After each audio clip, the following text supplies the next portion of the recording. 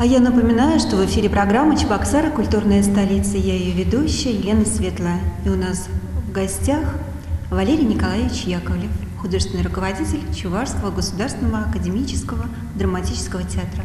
Валерий Николаевич, вы вспоминали о гастролях. А какие гастроли были последние, самые запоминающиеся? И, а, возможно, это фестивальные гастроли? Что вы получили на этих гастролях? Последние лет 30, наверное, мы постоянно участвуем на театральных фестивалях. Наград их очень много, э, включая там Волковский фестиваль а Самый памятный? А самый памятный, э, ну, я не знаю, ну, если говорить самый памятный с точки зрения престижа театра, это вручение государственной премии Владимиром Владимировичем Путиным Э, в Кремле, Екатерининском зале, вот ежегодно там вот вручают премии э, участникам, создателям спектакля «Свет далекого счастья». Это по пьесе Арсения Тарасова. Э, государственной премии в области театрального искусства. Вот, пожалуй, вот самый яркий, может быть, но и не скажу, что остальные вот фестивальные встречи не оставляют впечатлений. Мы их много получали. Если в Уфе в 1990 году «Ежевика вдоль плетня» был такой очень известный спектакль, не только у нас в Чувашии. И мы э, на этом фестивале, фестиваль назывался Международный театральный фестиваль тюркоязычных народов Туганы, братство. И мы приехали там вот с такими номинациями победителями. Лучший спектакль «Автобус» театральный. Прямо буквально после фестиваля мы гоняли, перегоняли автобус большой. Лучшая режиссура, режиссер Яковлев. Лучшая женская роль, тут Яковлев получал. Лучшая мужская роль, Э, Геннадий Большаков получил, лучший композитор Николай Казаков, лучший художник спектакля э, Федоров Валентин. Вот смотрите. Забрали все награды. Почти все. После этого на других фестивалях полушутя, полуобеды коллеги из других театров говорят, ах вы, ничего для других не оставили. Ну, конечно, э, разве это но это ведь... Э, это работа. Работа, Труд. это заслуга театра, всего коллектива. Это почетно и всем действительно приятно. И стараемся всегда участвовать на фестивале. Вы сказали про коллектив, а что касаемо актеров. Всем известно, что творческие люди, они очень ранимые, они, ну, скажем так, как маленькие дети. Как вам удается найти с каждым общий язык, возможно, кого-то уговорить, утешить, приголубить? Какой-то у вас секрет есть? Э, Георгий Александрович Товстоногов говорил, э, э, как положительные качества режиссера – это когда вокруг него образовывается добровольный диктат. То есть он диктат режиссера, но вместе с тем подчиняется добровольно, не насильно. Но это, наверное, в идеале. Но мне приходится применять и то, и другое. Приходилось. Но бывало и жесткость некоторые творческие, когда я не имею в виду обыкновенно административно-дисциплинарные понятия, я имею в виду творческое понятие. Завербовать, зажечь замыслом, идеей, э, вот свою концептуально, своим вот, своим видением этого спектакля, вот, буквально завербовать, э, тогда, э, если убеждаешь, он подчинится актер. А если ты не сможешь убедить его, что именно вот так надо, вот так надо идти, а, тогда ты ему открываешь двери в мир этого образа и спектакля. Тогда он идет свободно. Но бывает по-всякому. Ну, потом, конечно, актеры разные. Тем больше у актера вот эти клеточки нервные э, наружу, тем идеальный актер. А если глубоко зарыто у него чувства и эмоции, э, такой человек, наверное, на актера не годится. Он должен сам зародиться и заражаться предлагаемыми, как мы говорим, обстоятельствами пьесы, роли и зажечь. Сам не зажжешься, зритель не зажжется никогда. Надо тратить свой душевный, духовный, умственной энергии. Говорят, ну что, какая прекрасная жизнь актер. Пришел, повеселился, пел, сыграл, радость после закрытия занос или до открытия еще публика не знает, сколько пота, сколько бессонных ночей, сколько мучений испытал он для того, чтобы выйти к зрителю легко. А самый тяжелый – это когда вот кажется, смотришь, как легко удается. Да. А это очень тяжело добиться. Ну и, конечно, природные данные.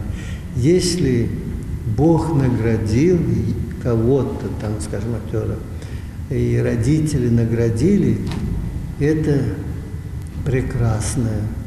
Трудом, конечно, что-то можно добиться, но все-таки вот природные данные непременно для того, чтобы посвятить себя этой профессии. Центре творчества Калининского района города Чебоксары состоялась благотворительная елка для детей-сирот и детей, оставшихся без попечения родителей. Организатором мероприятия выступил женсовет Калининского района. Такой праздник должен подарить ребятам хорошее настроение, ведь Новый год – это время, когда исполняются самые заветные мечты. Но для детей, для детей в первую очередь это, конечно, а, праздник, чудо, Дед Мороз, Снегурочка, сказочные персонажи.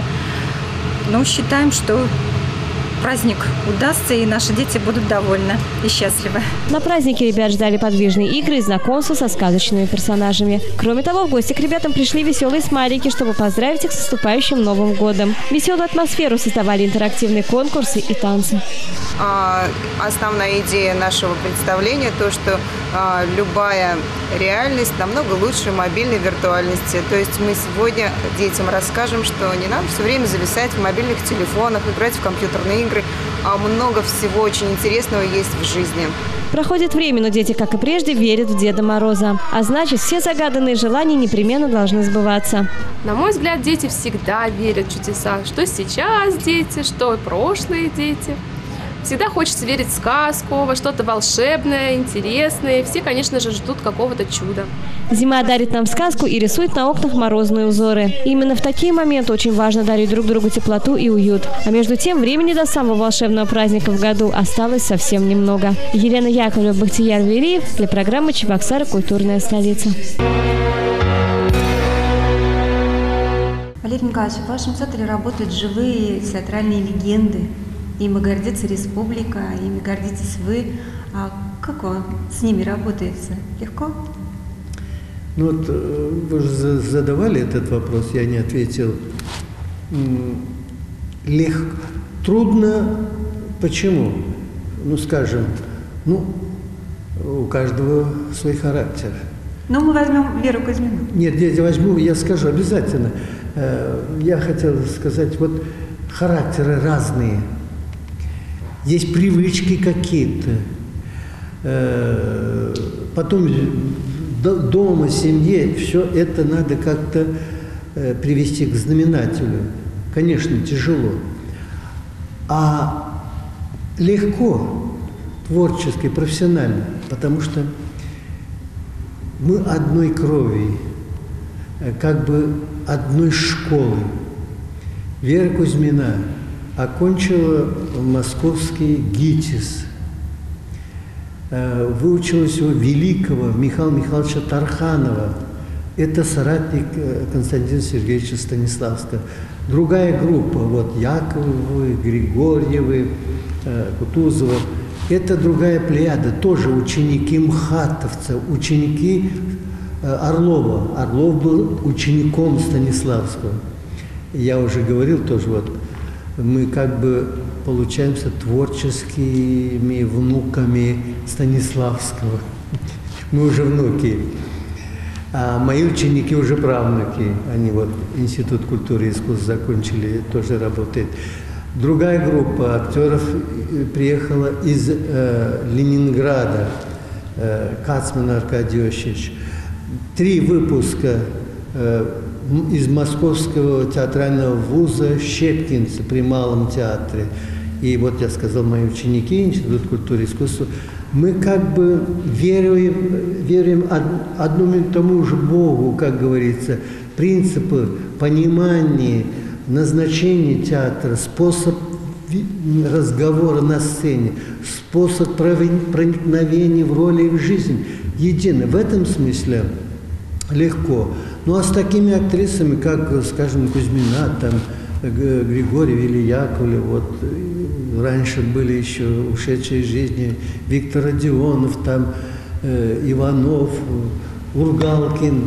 Это великие мастера, с ними не нужно было много тратить на объяснение.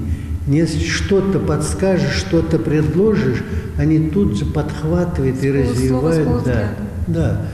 Э, чем талантливые, э, тем, ну, бывают, если человеческие какие-то там разницы между тобой и этим человеком, но все равно же можно найти профессиональный общий хороший язык.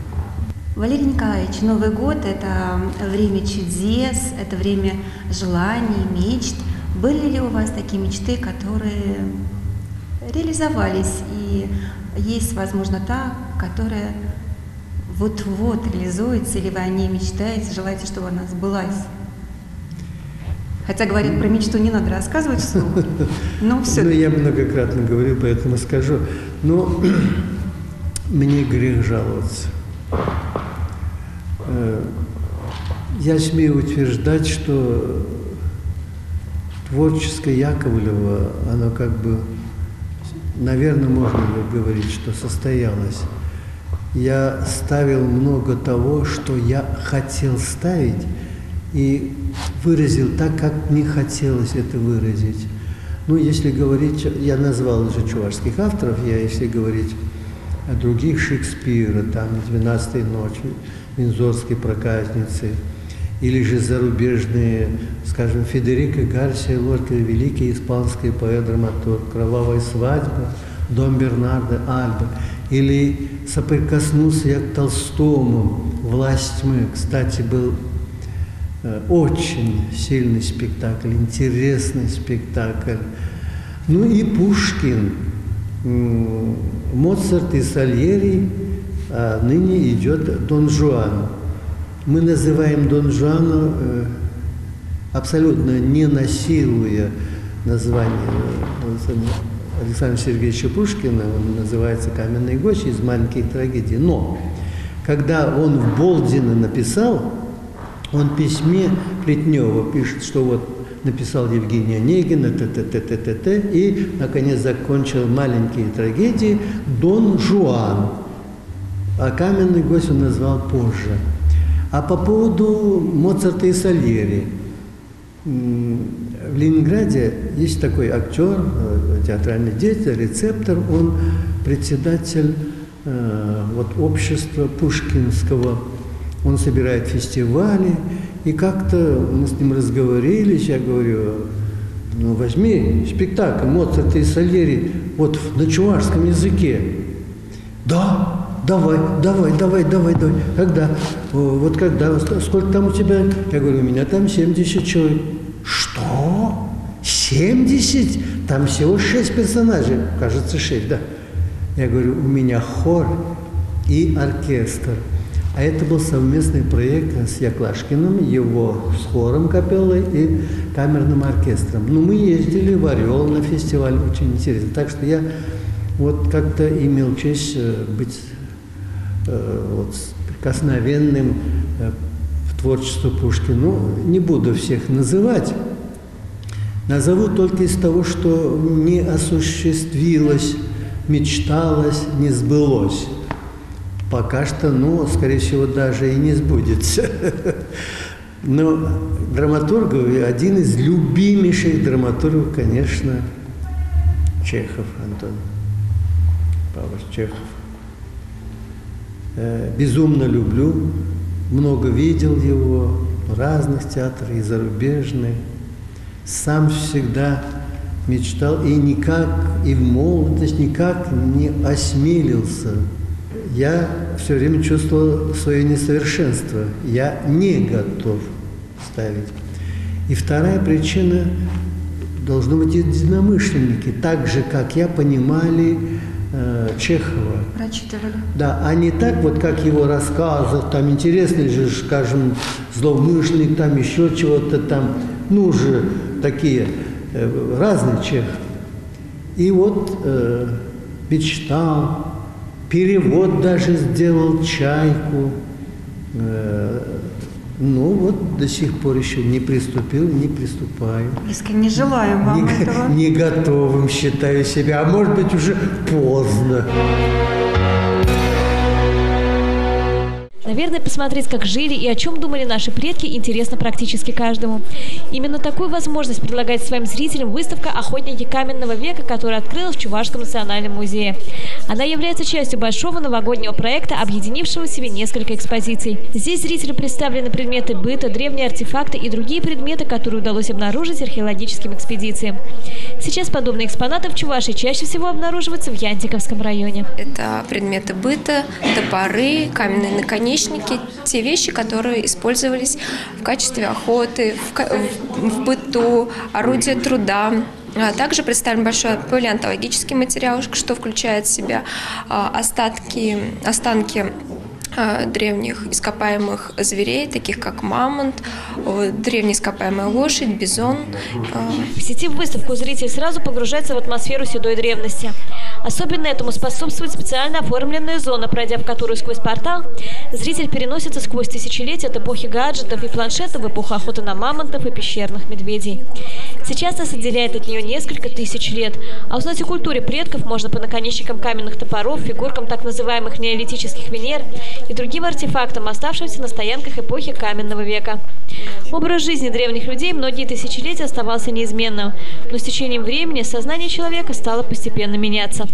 Следующая эпоха э, бронзового века, там уже появляются новые орудия труда, появляются новые виды керамики, тут уже развивается ремесло, абсолютно новый вид, э, э, происходит э, неолитическая революция, так называемая, это э, переход от э, присваивающего вида хозяйственного к раз- э, производящей, то есть люди уже научились обрабатывать землю, э, охотиться на животных, не то, не, не то чтобы охотиться на животных, а именно сами выращивать себе скотину, дома держать. Э, э, Именно вот происходит эволюция э, человека. И это еще далеко не все, с чем можно ознакомиться в Национальном музее. Кроме экспозиции «Охотники каменного века», в праздничные дни посетителей ждет выставка минералов и волшебный мир сказок Петра Бажова, а также многое другое. Елена Яковлева, Бахтияр Велиев для программы «Чебоксара. Культурная столица». В преддверии Нового года, я так понимаю, юные зрители посещают Да. ваш театр. Что происходит сейчас? Но, э, ну, конечно, я скажу обязательно, несмотря на вот какие-то мрачные мысли возникают, приходят к тебе, все равно нас никто не переубедит. Мы избрали эту профессию добровольно. Не на зарплату, а с верой того, чтобы быть полезным кому-то. И, и есть и мечты, и замыслы есть, и желание как-то э, быть нужным людям. И детская аудитория к нам приходит. Мы ежегодно ставим новые и новые им сказки. А к Новому году обязательно готовим елки, праздничные, нарядное представление. Если я скажу, что вокруг елки вот этих персонажей, изображающих, бегают не только заслуженные артисты, но и народные артисты Чуваши. Может быть, некоторые не поверят, это так. Мы относимся честно к ним, ребятам.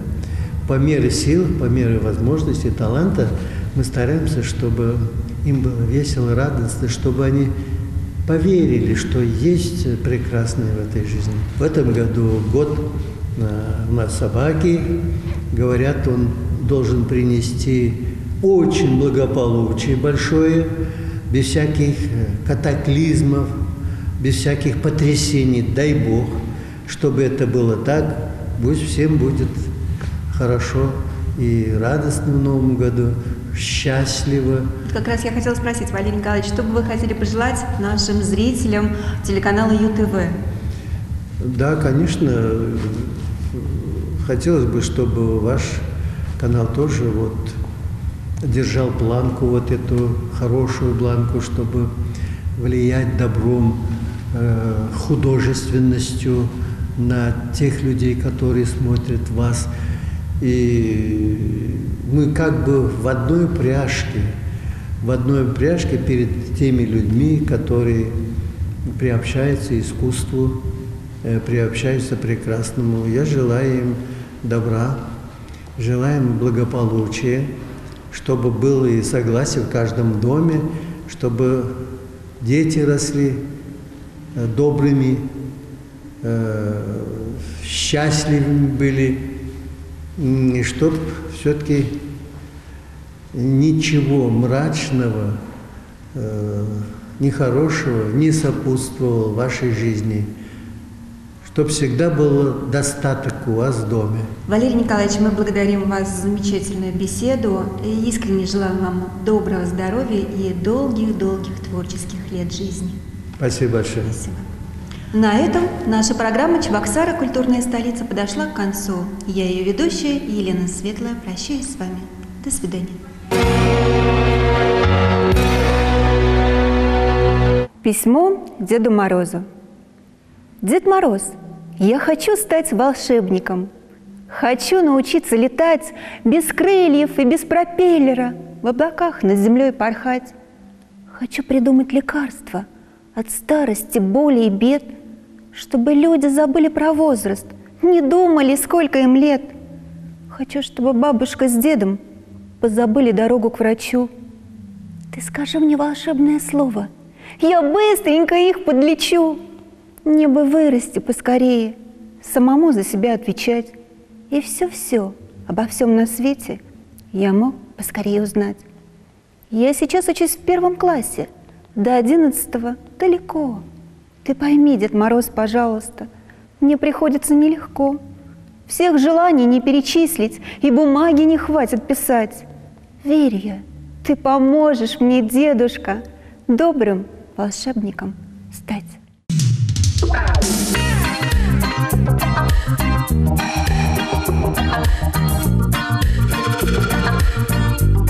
27 декабря в Государственном русском драматическом театре в 10 часов состоится программа «Зимняя сказка» и представление «Около елки». Чувашский академический драматический театр в 11 и 14.00 приглашает на музыкальную сказку «Дети ветра» и новогоднее представление у елки. Чувашский государственный театр «Кукол» приглашает на новогоднее шоу ростовых кукол, новогодний бал у Золушки с просмотром спектакля «Золушка». В театре оперы и балета в 14.00 премьера мюзикла для детей «12 месяцев», а в музыкальном училище Федора Павлова в 18.30 пройдет пройдет большой новогодний концерт русского романса «Белая акация». 28 декабря Государственный русский драматический театр в 10 часов приглашает на программу «Зимняя сказка» и представление «Около елки». Чувашский государственный академический театр приглашает в 11 и 14.00 на музыкальную сказку «Дети ветра» и новогоднее представление у елки. 29 декабря Государственный русский драматический театр в 13.00 приглашает на программу «Зимняя сказка» и представление «Около елки». Чувашский государственный академический театр приглашает всех в 14.00 18.00 на музыкальную сказку «Дети ветра» и новогоднее представление у елки. А музыкальное училище в 18.00 приглашает на исполнение вокальных произведений к дипломному спектаклю по драме Бернарда Шоу «Пигмалион». 30 декабря, 2, 5, 6 и 8 января в Государственном русском драматическом театре продолжается программа «Зимняя сказка» и представление около елки. В Театре оперы и балета 30 декабря в 10.30, со 2 по 6 января в 11 и 14.00 продолжится показ мюзикла для детей «12 месяцев». А завершит праздничный марафон Марафон 8 января в 11.00. Программа «Зимняя сказка» представление «Около елки» в Государственном русском драматическом театре.